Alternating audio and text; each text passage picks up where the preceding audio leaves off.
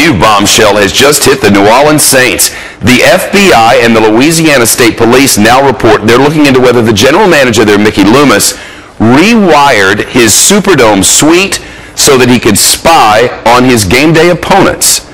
This after an anonymous source told ESPN that Loomis set up a listening device to eavesdrop on visiting coaches. The source says this went on for nearly three seasons. That would be a federal crime if true. One Saints official calls the accusations 1,000% false.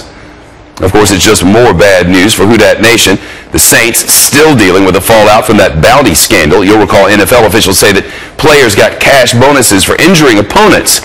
The commissioner, Roger Goodell, suspended Loomis for eight games for his role in that mess. And now there's this.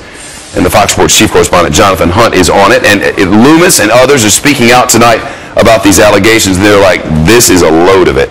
Yeah, we haven't actually seen Mickey Loomis since the original report was aired by ESPN, but he did send a very strongly worded email to the Fox affiliate in New Orleans, which read in part, this report on ESPN is absolutely false. It just didn't happen. Uh, by coincidence, the Saints had an already scheduled news conference today at which the allegations obviously came up with the interim coach offering a fulsome defense of his general manager. Listen. I'm not completely abreast of what's taken place or what's been said. I just know it's not true. And I know what Mickey's meant in my life, and I know he's meant in the life of a lot of people around the league.